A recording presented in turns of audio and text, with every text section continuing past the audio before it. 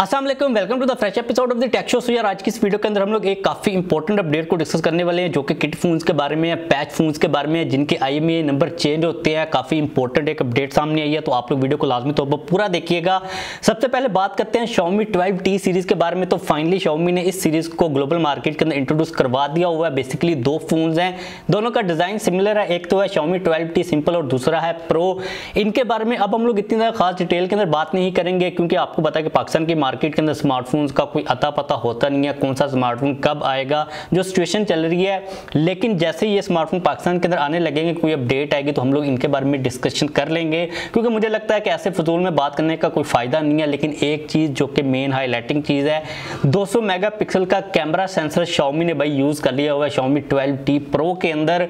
ये गेम यहाँ पर रुकने वाली नहीं है, इससे आगे सैमसंग ऑलरेडी 600 मेगापिक्सल के ऊपर काम कर रहा है तो like there is no stop इसका कोई मतलब स्टॉप नहीं है।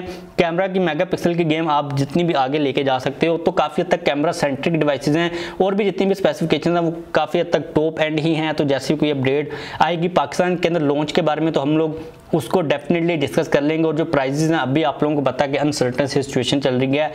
कब भी आते हैं स्मार्टफ़ोन उस वक्त डॉलर का क्या रेट होता है मतलब फिर जो है ना डिस्कशन का फ़ायदा नहीं बनता। हम लोग इसको बाद में डिस्कस कर लेंगे। लेकिन जो अगली प्रोडक्ट है, अगली जो न्यूज़ है, ये भी शॉमी ग्रुप की तरफ़ से ये है। यह है रेडमी पैड के बारे में। तो फाइनली इसको बहुत जल्द पाकिस्तान की मार्केट के अंदर इंट्रोड्यूस करवाया जा रहा है। शॉमी की जो ऑफिशियल पेजेस हैं, इसको टीज करना स्टार्ट कर चुके हुए हैं। आप लोगों को मैं स्पेसिफिकेशन बता देता हूँ। और जो प्राइस है, वो हमें बहुत जल्द पता चल ही जाएगी तो इसके अंदर आप लोगों को फ्रंट के ऊपर आईपीएस एलसीडी डिस्प्ले मिलेगा नाइनटी एट्स के रिफ्रेश शेड के साथ मीडिया टेक का हेलो जी नाइनटी का वर्ल्ड फ़ेमस जो आजकल प्रोसेसर चल रहा है, वही लगाया गया। बैक साइड के ऊपर 8 मेगापिक्सल का एक ही कैमरा का सेंसर प्रोवाइड किया गया, जबकि फ्रंट के ऊपर 5 मेगापिक्सल का सेल्फी कैमरा है 8000 थाउज़ेंड की बैटरी के साथ 18 वाट की फास्ट चार्जिंग की सपोर्ट है। अब लेट सी के इस टैबलेट की प्राइस कितनी होती है शॉमी इसको किस जगह के ऊपर प्लेस करता है, क्योंकि टैबलेट्स की जो मार्केट है पाकिस्तान के अंदर वो इतनी ज़्यादा कंपेटिटिव नहीं है। इसको हम लोग फिर कंपेयर करके देख लेंगे जो ऑलरेडी मार्केट के अंदर ऑप्शन मौजूद हैं। इतने ज़्यादा ऑप्शन खास मौजूद हैं भी नहीं। आ, तो लेट सी के शॉमी वाले इसकी प्राइस कितनी ज़्यादा रखते हैं। अगली अपडेट अगेन यहाँ पर रेडमी के बारे में भाई तो Xiaomi is not coming slow ये है रेडमी ए वन प्लस के बारे में। अब इससे पहले हम लोग रेडमी के फ़ोन के बारे में बात कर चुके हैं जो कि ए वन सिंपल था। अभी इसका प्लस वेरियंट है और ये काफ़ी सस्ता फ़ोन है। लाइक इसकी जो प्राइस है ना वो एटी डॉलर है जो कि पाकिस्तान के अंदर अगर हम लोग कन्वर्ट करते हैं तो सस्ता बचता नहीं है जितना डॉलर का रेट है तो इसके अंदर आप लोगों को डिज़ाइन काफ़ी डिसेंट मिलने वाला है। बैक साइड के ऊपर काफ़ी कूल सा डिज़ाइन है। फ्रंट के ऊपर नोच है सेवन ट्वेंटी डिस्प्ले मीडिया का हीलो एट ट्वेंटी टू का प्रोसेसर है। फ्रंट के ऊपर 5 मेगापिक्सल की सेल्फी है। बैक साइड के ऊपर 8 मेगापिक्सल का मेन सेंसर 5000 थाउज़ेंड की बैटरी के साथ। 10 वाट की चार्जिंग की सपोर्ट है। लेट सी ये पाकिस्तान के अंदर आता है या फिर नहीं आता। अगर आता है तो अंडर 20,000 ही ये आएगा। लेकिन अगर डॉलर ऊपर चला गया तो जो सस्ता फ़ोन है ना वो भाई पाकिस्तान के अंदर महँगा भी हो सकता है। तो लेट सी कि शॉमियल इसको कब लेके आते हैं। और जब ये आता है पाकिस्तान के अंदर तो उस वक्त डॉलर का रेट होता है क्या क्या रेट होता है तो उसी के अकॉर्डिंगली हमें प्राइस पे करना पड़ेगी। इसके बाद नेक्स्ट अपडेट है टेक्नो पोवा फोर के बारे में। तो इससे पहले हम लोग टेक्नो पोवा फोर का जो डिज़ाइन है ऑलरेडी डिस्कस कर चुके हुए हैं। काफ़ी फ्यूचरिस्टिक टाइप का भाई डिज़ाइन होने वाला है और फ्रंट के ऊपर आप लोगों को पंच होल मिलेगा। अब जो एक चीज़ मैं आप लोगों के साथ शेयर करना चाह रहा हूँ ये है कि जो डिस्प्ले है ना, उसको लेकर काफ़ी ज़्यादा कंफ्यूजन पाई जा रही है। कुछ लोग कह रहे हैं कि आईपीएस एलसीडी डिस्प्ले होगा नाइनटी एट्स के रिफ्रेश शेड के साथ। लेकिन एक लीक ये भी आ रही है कि एमलेट डिस्प्ले यूज़ किया जाएगा। नाइनटी एट्स के रिफ्रेश रेट के साथ, बाकी जो स्पेसिफिकेशन होंगी वो सेम ही होंगी। अब मुझे पर्सनली तो यहाँ पर ये लगता है कि टेक्नो को ना एमलेट डिस्प्ले के ऊपर स्विच करना चाहिए। लाइक उनकी जो कैमरा गेम है, वो काफ़ी उन्होंने इंप्रूव कर ली हुई है। लेकिन अगर हम लोग डिस्प्ले के पॉइंट ऑफ़ व्यू से बात करते हैं तो वो लाइक आई पी डिस्प्ले को ही चिपका रहे हैं, जो कि मुझे लगता है कि एक टॉकिंग पॉइंट है, एक बंदे के माइंड के अंदर कन्फ्यूज़न चल रही होती है कि यार ये आई पी डिस्प्ले है, यहाँ पर एमले डिस्प्ले नहीं है तो टेक्नो को फॉर इस प्राइस ब्रैकेट के ऊपर एमले डिस्प्ले देना चाहिए और दूसरी ब्रांड्स हमें दे रही हैं। लाइक ये कोई इतनी इम्पॉसिबल बात नहीं है। टेक्नो थोड़ा सा पीछे ही चल रहा है डिस्प्ले के मामले के अंदर। तो मेरी ये सजेशन सजेशन होगी टेक्नो को भाई एमले डिस्प्ले ही लगाए।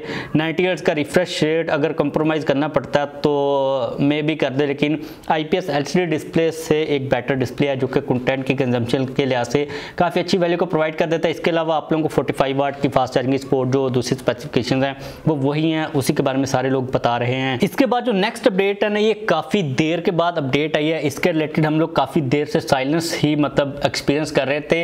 ये अपडेट है फाइव इन पाकिस्तान के रिलेटेड तो अभी recently ministry of information technology के कुछ डॉक्यूमेंट्स वगैरह सामने हैं, जिनके अंदर से हमें ये चीज़ पता चल रही है कि भाई दो के अंदर पाकिस्तान के तीन मेजर सिटीज़ के अंदर फाइव को लॉन्च कर दिया जाएगा, जिसके अंदर एक तो लाहौर है, इस्लामाबाद और कराची है।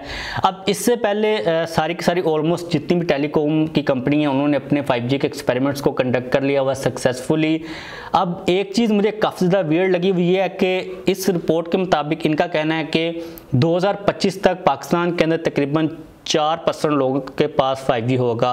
लाइक यानी कि अभी 2022 है ना 2025 तक सिर्फ़ चार लोग, परसेंट लोग जो है ना वो फाइव जी को एक्सपीरियंस कर रहे होंगे और जो साठ फ़ीसद फ़ीसद लोग हैं ना वो फोर जी को ही यूज़ कर रहे होंगे। अगर हम लोग चार और साठ को मिलाते हैं तो ये चौंसठ फ़ीसद लोग हैं जो कि फाइव जी और फोर जी का यूज़ कर रहे होंगे और बाकी जो छत्तीस परसेंट लोग बचते हैं वो दो हज़ार पच्चीस के अंदर भी टू जी को ही यूज़ कर रहे होंगे या फिर थ्री जी को ई e वगैरह को यूज़ कर रहे होंगे, जो कि मेरे लिए काफ़ी एक शॉकिंग चीज़ है। भाई, दुनिया के अंदर जो है ना सिक्स जी की एक्सपेरिमेंटेशन स्टार्ट हो चुकी हुई है।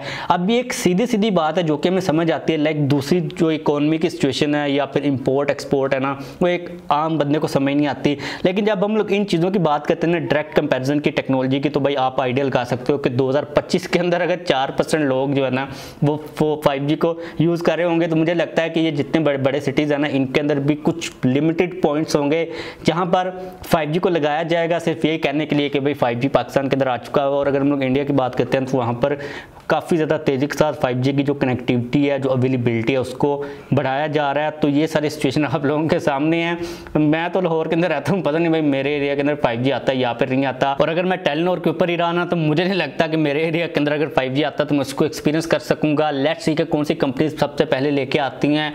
अब काफ़ी एक अनफॉर्चुनेट सिचुएशन है। लेट सी के क्या ये इनका गेम प्लान इसी तरह चलता है या फिर कंपनीज़ इसको थोड़ा सा फास्ट फॉरवर्ड करती हैं, क्योंकि अभी तक जो इन्फॉर्मेशन इनिशियल वो यही आ रही है तो होप फॉर द बेस्ट इसके बाद अगर बात करें आज की लास्ट अपडेट की, जो कि काफ़ी क्रेजी टाइप की अपडेट है तो ओकाड़ा पुलिस ने ना दो बंदों को पकड़ा है, जो कि आई जो मोबाइल्स के ना उनको टेम्पर्ड करते थे, उनको चेंज करते थे। अब इससे पहले आप लोगों को इसके ऊपर मैं पूरी एक डिटेल के अंदर बता चुका हूँ कि मार्केट के अंदर आप लोगों को जो किट फोन्स मिलते हैं ना, जो आई में पैच वाले फोन्स मिलते हैं, उनके अंदर सीन ये होता है कि उनके जो आई में ओरिजिनल होते हैं ना, उनको चेंज किया जाता है। लाइक फॉर एग्ज़ाम्पल एक मेरे पास नोकिया का फ़ोन है, छोटे वाला। इसका जो आई में नंबर है, वो आपको पता है कि कम बजट वाला है, उसके ऊपर पीटीआई का टैक्स लगता नहीं है। तो ये क्या करते हैं कि उसके आई में नंबर को एक महँगे एंड्रॉयड फ़ोन के ऊपर लगा देते हैं, ताकि पीटीआई को ये लगे कि ये एक छोटा आईफोन मतलब छोटा फ़ोन है नोकिया वाला।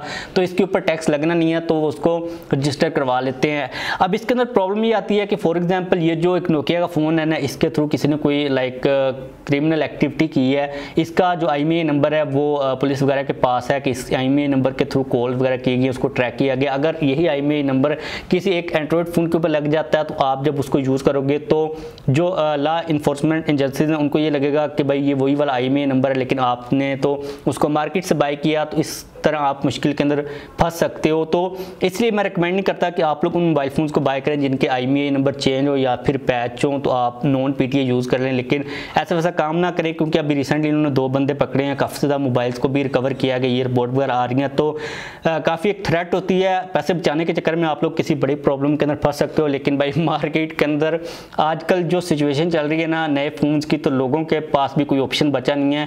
लोगों की भी मजबूरी है कि भाई, हम लोग क्या करें? हमें फिर ये जो आई चेंज वाले फ़ोन है, यही बाई करने पड़ते हैं।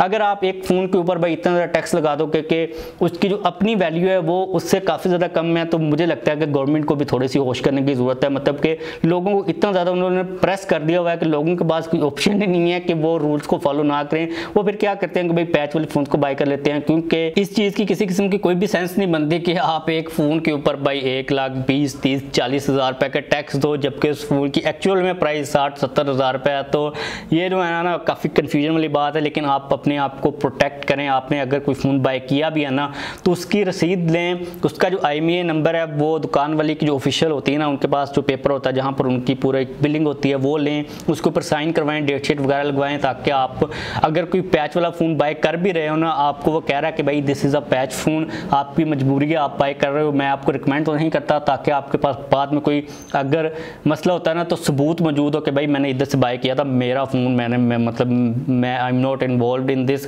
तो ये काफ़ी ज़्यादा वेट सी चीज़ चल रही है पाकिस्तान के अंदर। इसके अलावा हम लोग इससे पहले एक अपडेट को ये भी डिस्कस कर चुके हैं कि पाकिस्तान से जो फ़ोन चोरी होते थे ना भाई वो अफ़गानिस्तान भेज दिए जाते थे और ये भी आई जो चेंज करते हैं, ये चोरी वाले फ़ोन के करते हैं। लाइक उनको चेंज कर देते हैं ताकि बेच वगैरह सकें। तो ये काफ़ी एक अजीब चीज़ चल रही है, अपने आप को इससे महफूज रखें। तो बस आज के लिए यही अपडेट आ रही थी। वीडियो खत्म करते हैं। अगर आप लोगों का कोई क्वेश्चन हो तो पूछ लीजिएगा। वीडियो को लाइक कर दीजिएगा। चैनल को भी सब्सक्राइब कर लीजिएगा।